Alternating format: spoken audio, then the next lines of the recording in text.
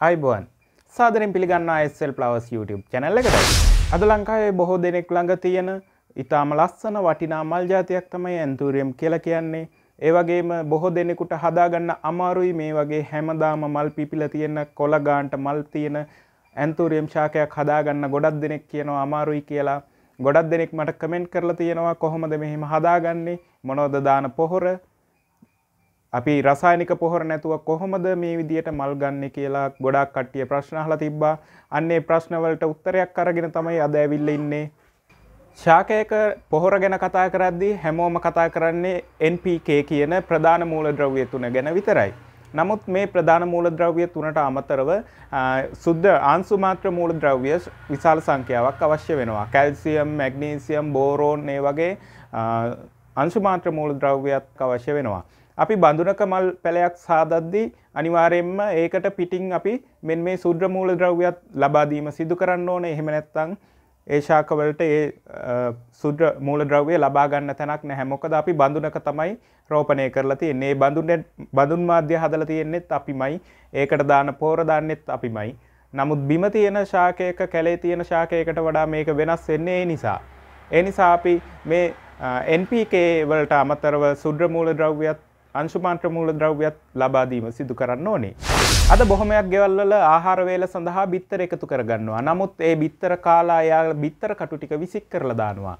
නමුත් අපි මේක විසික් කරන්නේ නැතුව ඔයාගේ වගාවට යොදා ගන්න පුළුවන්. නම් මේකෙන් මේ අංශුමාන්ත්‍ර මූලද්‍රව්‍ය විශාල සංඛ්‍යාවක් ලබා ගැනීමේ හැකියාව තියෙනවා. විශේෂයෙන්ම කැල්සියම්, මැග්නීසියම්, බෝරෝන් මේ වගේ අංශුමාන්ත්‍ර මූලද්‍රව්‍ය 27ක විතර ප්‍රමාණයක් ලබා ගැනීමේ හැකියාව තියෙනවා මේ බිත්තර කටුවල.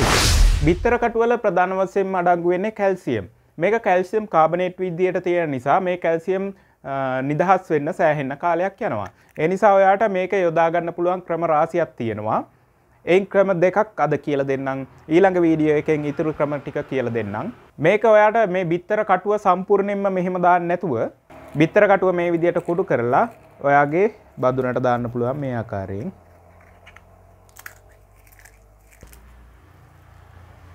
ඔය මේ විදියට බිත්තර කටු කුඩු කරලා දැම්මයින් පස්සේ බිත්තර කෑලි ලොකුයි. මේවා බිත්තර කටු ටික දීර්ණ වෙන්න විශාල කාලයක් යනවා. කැල්සියම් නිදහස් වෙන්න විශාල කාලයක් යනවා. ඒ නිසා මේක ඉක්මනින් ප්‍රතිඵලයක් ලැබෙන්නේ. ඔයා නැවත මාස කිහිපයක් යනකම් බිත්තර කටු එකතු කිරීමක් සිද්ධ කරන්න එපා. මේ බිත්තර කටු ටික ජීර්ණය වෙනකම්. අපි පළවෙනි ක්‍රමේදී බිත්තර කටු අතින් කුඩු කරලා දැම්මේ. මේ මම කරලා තියෙන්නේ බිත්තර කටු බෙන්ඩරේකට දාලා බෙන්ඩරෙන් හොඳින් කුඩු කරලා ගත්ත බිත්තර කටු තියෙන්නේ. මේ බිත්තර කටුවල කලින්ට වඩා කුඩු කරපු නිසා මේක ජීර්ණය වෙන්න වැඩි කාලයක් ගත වෙන්නේ නැහැ. ඔයාට මේ වගේ තේ හැන්දක් තේ හැඳි දෙකක් විතර මේ වගේ පැලයකට දාන්න පුළුවන් මාස කිහිපයකට සැරයක් මේ ආකාරයෙන්. මේ මගින් කලින් ක්‍රමයට වඩා ඉතාම ඉක්මනින් කැල්සියම් නිදහස් වීම සිද්ධ වෙනවා. ඒ නිසා සාකයට ඉතාම ඉක්මනින් කැල්සියම් ලබා ගැනීමේ හැකියාව තියෙනවා මේ ක්‍රමේදී.